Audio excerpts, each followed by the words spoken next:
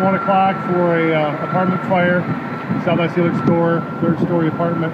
Cooking fires are the leading cause of home fires in the United States.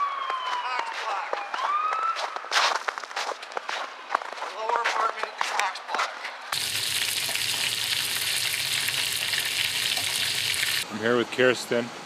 We came out to visit her family and uh, we stepped outside and Kirsten ran over and she's like, there's a, a, fire down the street. Something's on fire. I see smoke. So we all ran out and luckily I had a couple cameras with me and we were able to catch a lot of what happened. The people that live here now have nothing, no place to go. Devastating, it really is. There's everybody I've talked to is just dumbfounded that they can't even believe it that, it, that it's down. A hundred yards away from the fire, you'll find these burnout embers, and they posed quite a threat last night, especially with this gas station next door.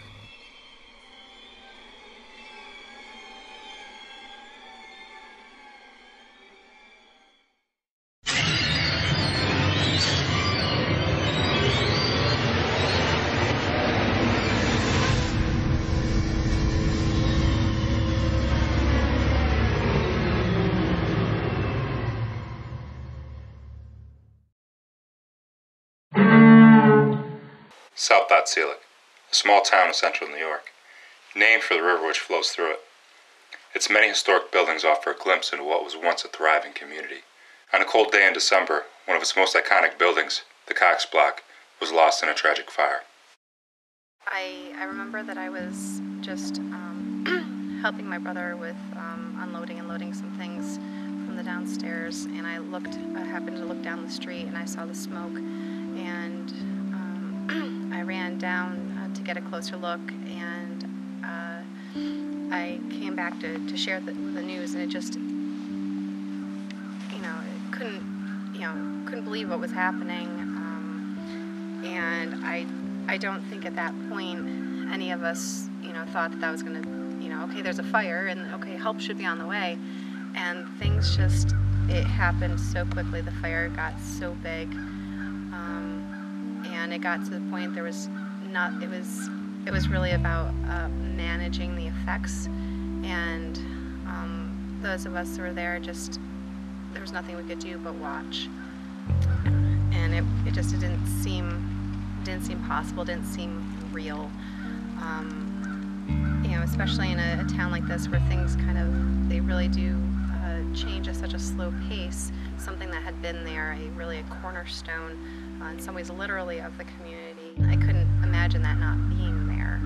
It's just not the same coming into town and, and taking that turn there um, and seeing a, field of green where it used to be this uh, large building, a, testament to the community's history, um, sort of a, a, hub, if you will, of community activity.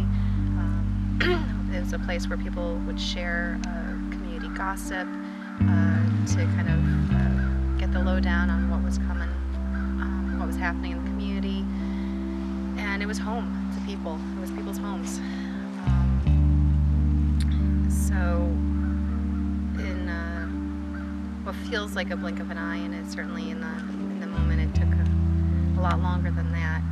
Um, things changed, which uh, change doesn't happen Where's Daddy? That's coming out the roof. Look. See this? See the smoke coming out of the under the roof? That means the plate. Oh man, look at that. See, look at look at that. The room must be on fire. Hopefully everybody got out. oh my god. Oh my god. No, it's okay. Oh. Oh my god. I hope nobody was standing underneath that. Once uh, the firefighters opened up the door, it introduced oxygen back into it, and basically uh, seemed like it exploded.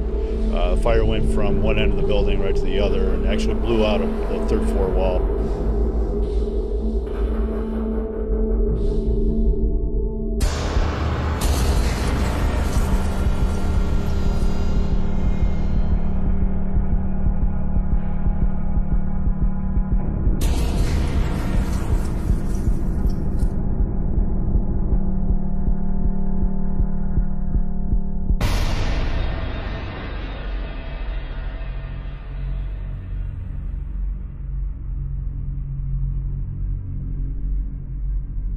This this corner over here caught again, um, like the next day, and uh, they have kept Kevin to come out and fix it.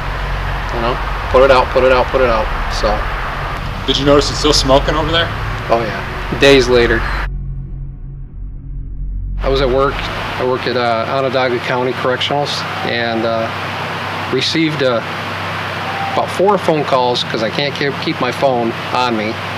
And uh, came back in and my phone looked like it was just blown up and looked at one email picture or text picture. And I saw the fireballs running down the fire line or the power lines and smoke rolling off the top of our house. And I was like wow. And this was halfway through the fire. And uh, you know it's time to go time to get home.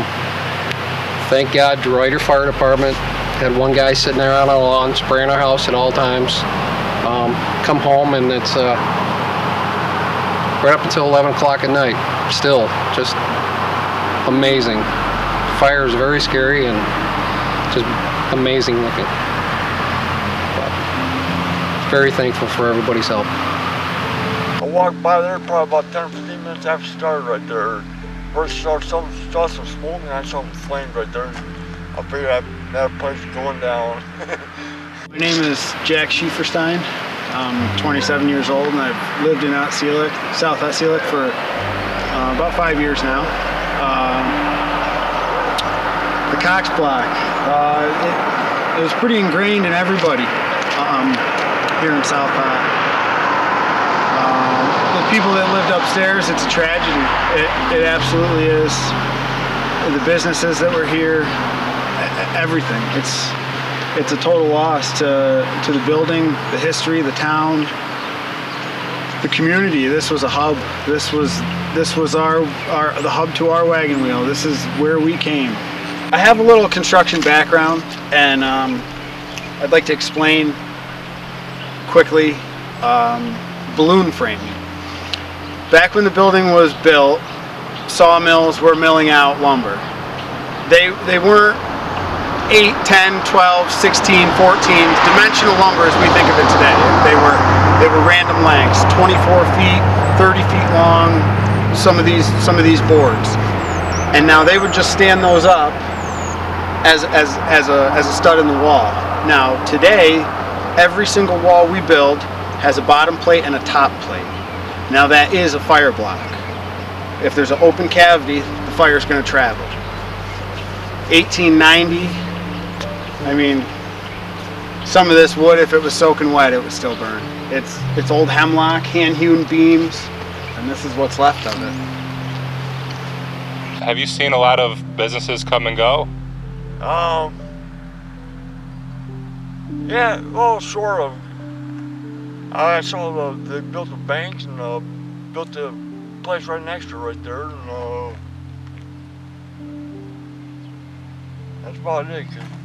I don't know. They built a bunch of stuff right here, little small buildings like there, like banks stuff like that. Well, all I can say is, as someone who is maybe you would be considered a newcomer to the area, as long as I've lived here, I know how much it meant to the town and to the people who've been born and raised here, and uh, everybody. We, I'm heartbroken that it's gone and can never be brought back. I look at it every time I go by, and I that beautiful building. What a shame.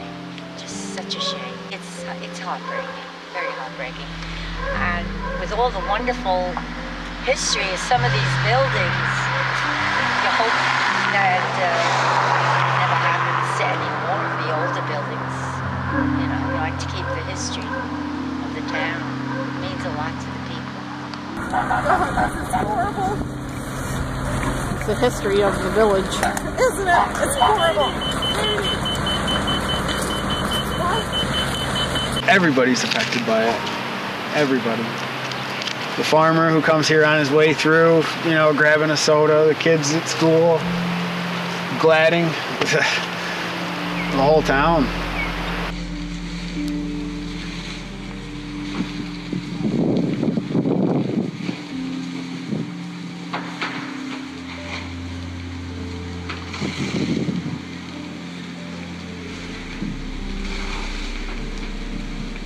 Great place. I remember it very much when I was growing up. Um, coming up when I was a kid, going to the store, uh, sneaking out when I was a senior to go up on lunch break and not making back on time, but you know, it's been a great memory through many years for everyone around this community. It'd be sorely missed. I like the store because all I have to do is stay my, stuff on my door and I'll be right in the store right there. But uh, when it burned down, that broke my heart right there because uh, everybody's got a grocery because uh, so so traveling about five to ten miles right there to get your groceries. right over here, there was uh, right by the stop sign. There was a, a deck, and it had a wheelchair ramp. And uh, oh man, ever since we moved up here, my son was two years old, and uh, man, he used to take off up that thing, turn around, come flying right back, and that was his shortcut. That's every time we came to the store. That was that was something he did. We had a, another boy. You know, the it, it, one follows the other. You know, monkey see, monkey do, and they're asking questions about it. They want to know what happened.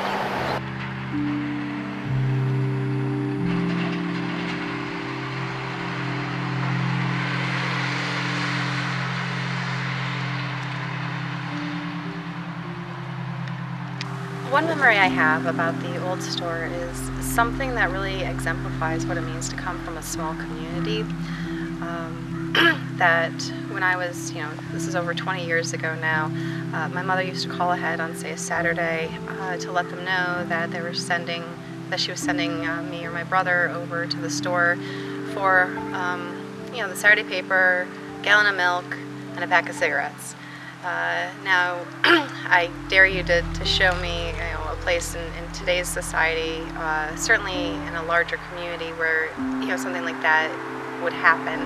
Um, and it's really uh, talks to the, um, the close knitness of this community, um, how even uh, now many years after I've officially left, uh, it's still, you know, people are looking for those connections.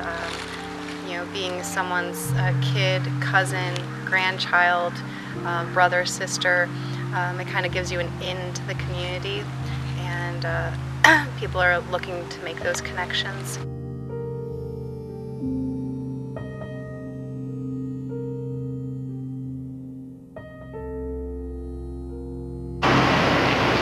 You know, I always, I, when I was in high school, I always thought, you know, I'm gonna move away, gonna go to California, you know, go somewhere, Hawaii, some big city. I don't want any of the small town gossip, anybody knowing my business, you know, that's for the sheep.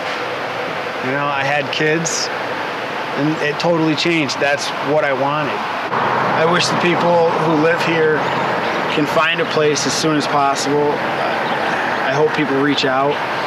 If you have a spare room, I hope you offer it clothes, uh, couches, TVs, that's great to give them. But a roof is the most important. If they're living in a hotel, then none of that is really theirs. The whole town came together to raise funds to help the victims start a new life.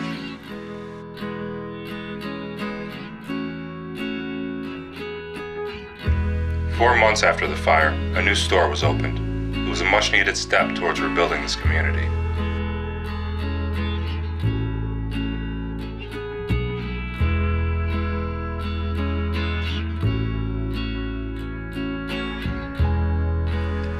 The authors of our own destiny. With positive thoughts and actions, we can create a better future.